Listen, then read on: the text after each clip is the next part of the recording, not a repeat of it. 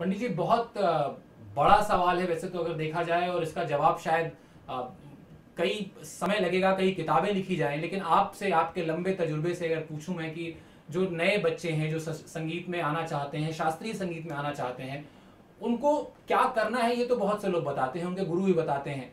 क्या नहीं करना चाहिए? कहाँ आकर बच्चे गलती कर जाते हैं? कुछ चीज़ें, कुछ ऐसी बातें जो आपको लगती हो कि ये ये करना चाहिए, लेकिन ये नहीं करना चाहिए, ऐसी कुछ बातों पर अगर आप नज़र डालें कुछ अगर जानकारी दें तो।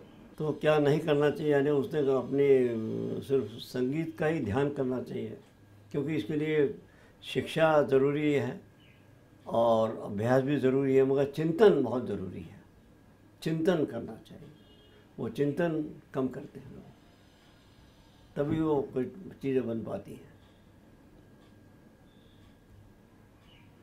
वो कहते हैं, शिक्षा सीखा देखा परख्या शक्ति भक्ति युक्ति शक्ति चाहिए। वो विद्या धारण करने के लिए, विद्या ग्रहण करने के लिए शक्ति चाहिए और पेशेंस चाहिए, भक्ति चाहिए, कला के प्रति, गुरु के प्रति और वो तो उससे जो, और फिर युक्ति चाहिए। युक्ति यानी चिंतन। जब तक युक्ति नहीं होगी, वो कलाकार सफल होना मुश्किल है।